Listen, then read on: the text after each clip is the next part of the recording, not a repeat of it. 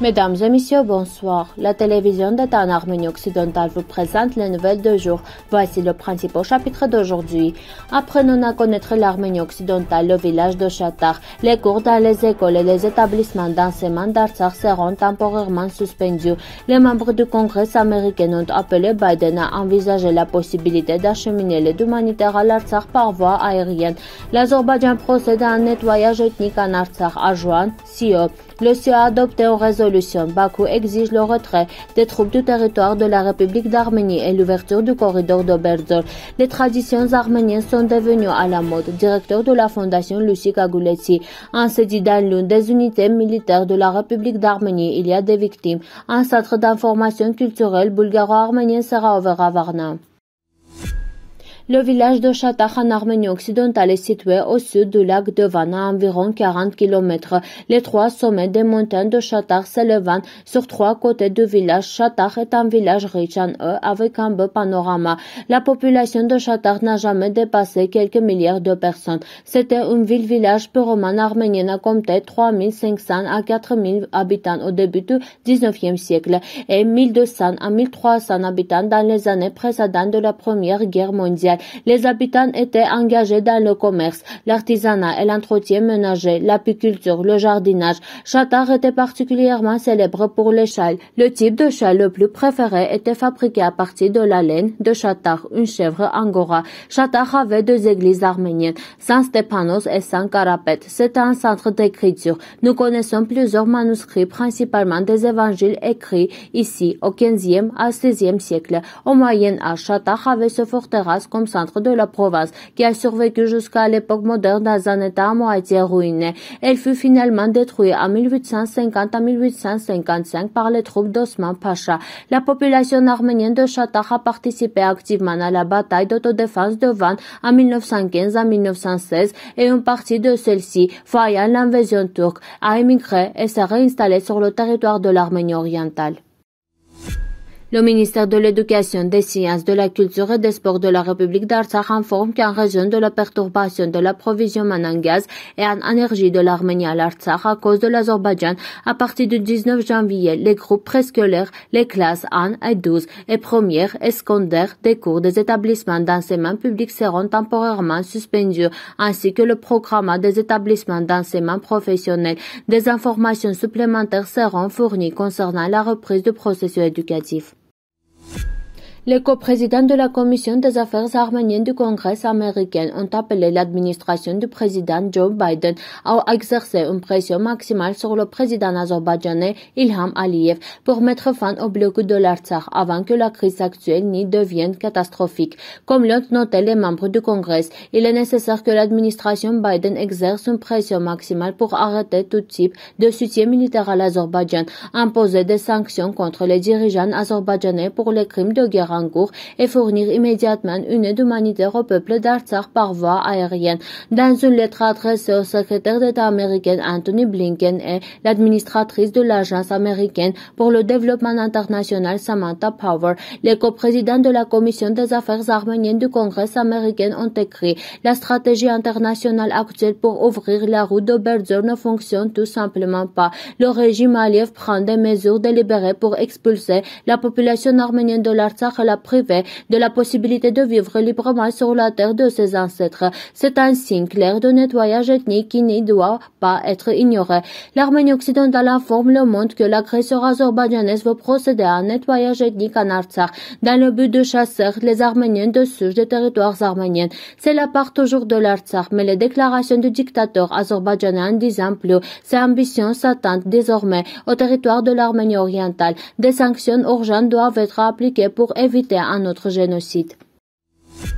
La députée européenne Nathalie Loiseau a évoqué le blocage de la route de Berzor par l'Azerbaïdjan, soulignant que l'Artsakh est coupé du monde. Le député en a parlé au Parlement européen lors de la discussion intitulée Conséquences humanitaires du bloc de l'Artsakh, se référant aux déclarations des responsables azerbaïdjanais selon lesquelles il n'y a pas de bloc. Le député a souligné que les militants écologistes se tenaient sur la route de Berzor. Le président Aliyev dit qu'il traite le peuple d'Artsakh de la même manière que les autres président de l'Azerbaïdjan, mais applique-t-il ce blocage à son propre peuple? Qu'est-ce qu'il va faire? Dit que quiconque ne veut pas vivre en Artsakh en tant que citoyen azerbaïdjanais peut partir. Donc, c'est plus qu'un blocus, c'est plus qu'un chantage. Il procède à un nettoyage ethnique. Qu'est-ce qu'en fait Rien, a-t-il dit. L'Arménie occidentale exhorte les structures internationales et les dirigeants des superpuissances à prêter attention aux événements qui se déroulent dans cette région et surtout à rappeler au président Ilham Aliyev que l'Artsakh ne fait pas partie de l'Azerbaïdjan.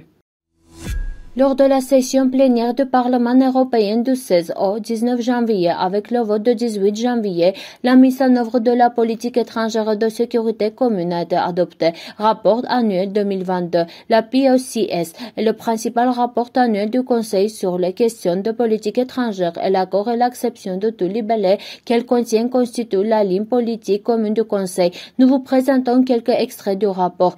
Condamne fermement l'attaque de l'Azerbaïdjan en 2022 contre le territoire souverain de l'Arménie. L'agression de septembre, qui est une violation de ces élèves et a de graves conséquences pour le processus de paix. Il a réaffirmé que l'intégrité territoriale de l'Arménie doit être pleinement respectée et les autorités azerbaïdjanaises sont invitées à retirer immédiatement les troupes de l'Atout, les territoires de l'Arménie. La conviction est exprimée qu'il n'est pas possible de parvenir à un paix stable entre l'Arménie et l'Azerbaïdjan par des moyens militaires. Cela nécessite un règlement politique global conforme au droit international y compris la Charte des Nations Unies, l'acte final d'Helsinki de 1975 de l'OSCE ainsi que le groupe Minsk de l'OSCE de 2009, principes fondamentaux d'intégrité territoriale, d'autodétermination et de non-recours à la force. Des inquiétudes sont exprimées concernant les crimes de guerre et le traitement inhumain des prisonniers de guerre et des civils arméniens par les forces armées azerbaïdjanaises et appelle les autorités azerbaïdjanaises à libérer les prisonniers de guerre sous leur contrôle. Le déploiement de la mission civile de l'UE à la frontière entre l'Arménie et l'Azerbaïdjan est salué et le Conseil de l'UE a invité à augmenter le nombre d'experts déployés à renforcer la présence dans la région. Lors de la session plénière de CIO du 18 janvier, l'amendement présenté au rapport sur le blocage du corridor de Berzor par l'Azerbaïdjan a également été adopté qui stipule le Parlement européen condamne fermement le blocus illégal du corridor de Berzor par l'Azerbaïdjan en violation de la déclaration tripartite du 9 novembre 2020 qui vise à créer une crise humanitaire pour la population de Haute-Karabakh. Le Parlement demande aux autorités azerbaïdjanaises de rétablir immédiatement la liberté de circulation dans la route de Berzor.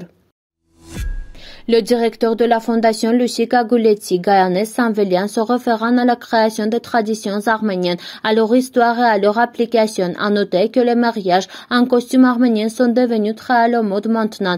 Les jeunes ont commencé à s'intéresser aux traditions arméniennes, aux vieux modes de vie arméniennes. Contrairement à aujourd'hui, dans le passé, le rituel de Nouvel An avait une signification spirituelle pour le peuple arménien. Comme le note Sanvelian, à cette époque, une personne était nettoyée des émotions négatives essayait de quitter les mauvaises au cours de la dernière année. Sanvelian note qu'il a récemment remarqué un certain intérêt pour les traditions arméniennes, en particulier de représentants de différentes générations visitent la maison musée de l'ethnographie Lucic à pour en savoir plus sur le mode de vie des Arméniens. En résumé, Gayanes Sanvelian a souligné que chaque région avait ses propres costumes et traditions qu'elle essaie en partie de préserver lors de grandes et petites fêtes. Ces costumes et traditions unissaient les arménienne.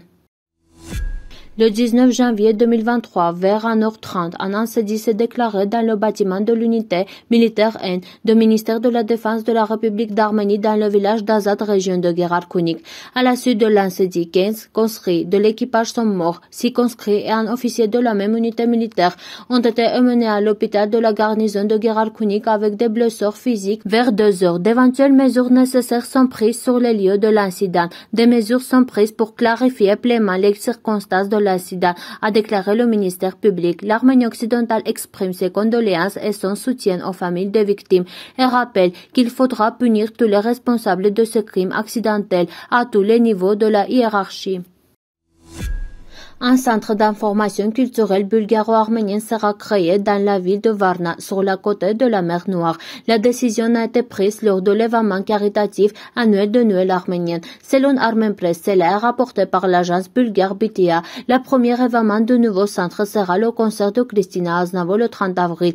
Les années 1977 à 1983 ont également été évoquées et sur l'initiative de donner à la rue le nom de doyen recteur de l'université médicale de Varna le docteur professeur Karapet Kaprelian est dit installer sa sculpture. Kaprelian était le fondateur de la chaire de virologie et de plusieurs hôpitaux de la ville. Actuellement, son fils est vice-président du conseil d'administration du conseil panarménien Baregortsakan. Merci de votre fidélité. À la fin de notre émission, vous pourrez profiter d'une performance musique folklorique des Arméniens. Vous pouvez écouter la version complète de la musique sur notre site web.